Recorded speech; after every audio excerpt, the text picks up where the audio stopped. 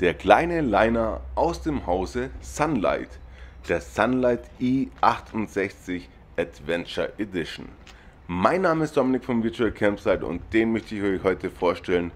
Und er hat eine Länge von 7,41 Meter sowie eine Gesamthöhe von 3,6 Meter und eine Breite von 2,32 Meter und das alles bei einem Gesamtgewicht von 3500 Kilo.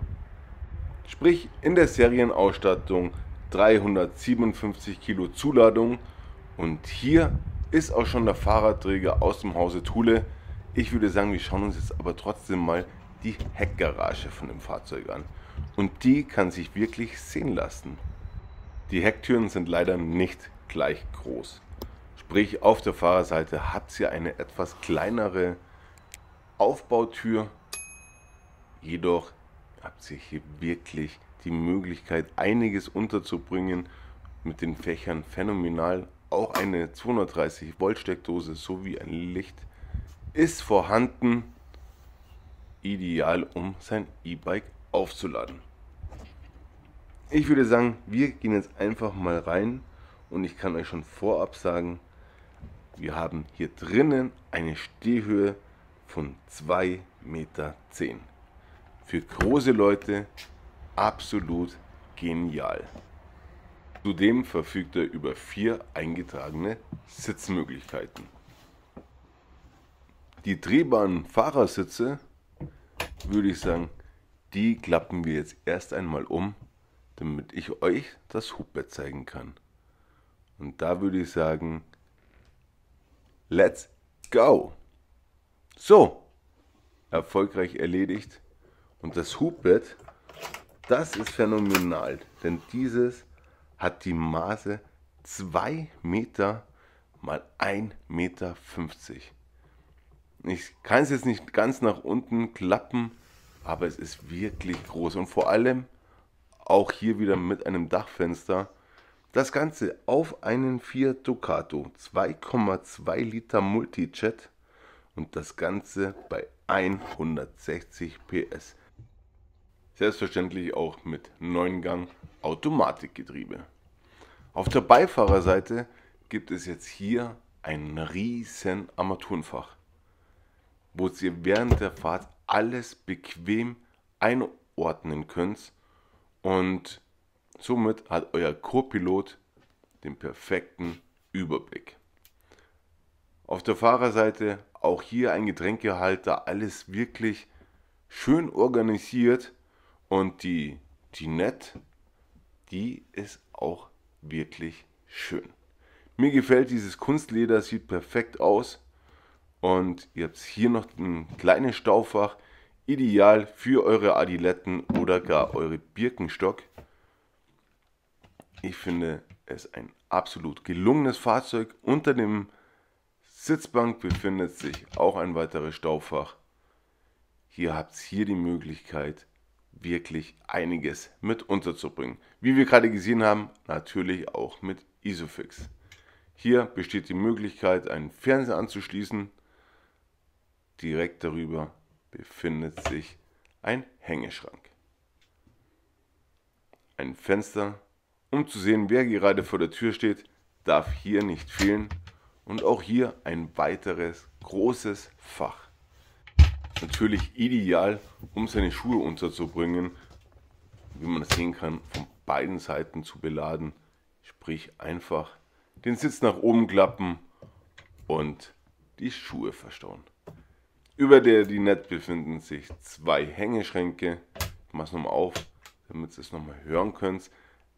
Wir haben hier ein Soft-Close-System und ich muss sagen, der Klang ist top. Hört sich sehr gut an. Wir haben bestes Wetter hier in Sulzemoos beim Freistaat, beim Glück. Und das Ganze mit einem Verdunkelung sowie Moskitonetz. Dann schauen wir uns doch auch gleich die Küche an, die L-förmig angeordnet ist mit einem Tedford Gasherd mit drei Flammen. Ja, Standard, wie man es kennt. Auf der anderen Seite befindet sich das Waschbecken. Unter dem Gasherd befinden sich selbstverständlich die Schubladen. In der ersten Schublade, wie soll es anders sein, Besteck. Wir haben hier Gasblock, 12 Volt Steckdose sowie eine 230 Volt Steckdose.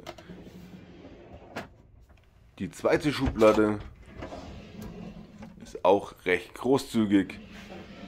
Wie gesagt, alle bis 15 Kilo belastbar. Und hier die ist etwas kürzer. Ich denke, man kriegt trotzdem einiges an Töpfen mit unter. Ansonsten bekommt es hier mit unter. Und dieses Fach ist richtig, richtig tief. Also Platz gibt es hier in diesem kleinen Liner von Sunlight. Ende. Hier noch ein Lichtschalter und gegenüber kommt jetzt der Kühlschrank von Tedford. Insgesamt 167 Liter und das Gefrierfach hier hat 29 Liter Volumen. Und dieser Kühlschrank, der ist doch richtig, richtig toll.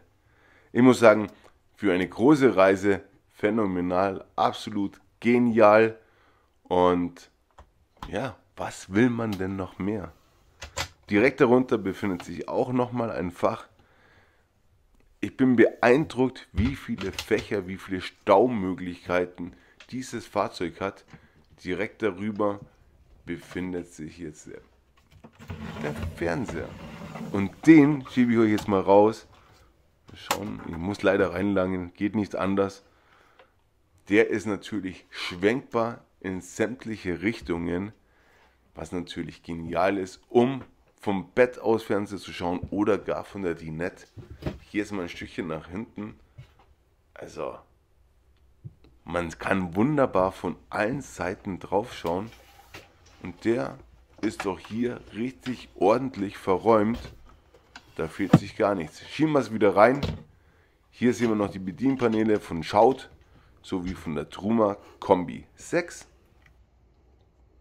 Bevor wir mit dem Bad weitermachen, zeige ich euch noch ein weiteres Staufach, weil gibt es ja hier en masse, auch richtig, richtig tief. Bitte keine kleinen Kinder verstecken. Und jetzt die Duschkabine. Ich baue das jetzt nicht um. Man sieht es, denke ich, recht gut hier. Und das Ganze hat hier ein Frischwasservolumen von sage und schreibe 122 Liter sowie ein Abwassertankvolumen von 92 Liter. Die Türklinke hat auch schon jemand gebrauchen können. Hier an der Tür ein großer Spiegel, sowie auch hier. Hallo. Auch hier ein richtig ja, großes Staufach. Wirklich ein großes Staufach. Und unterm Waschbecken befindet sich auch nochmal, wie soll es anders sein, ein großes Staufach.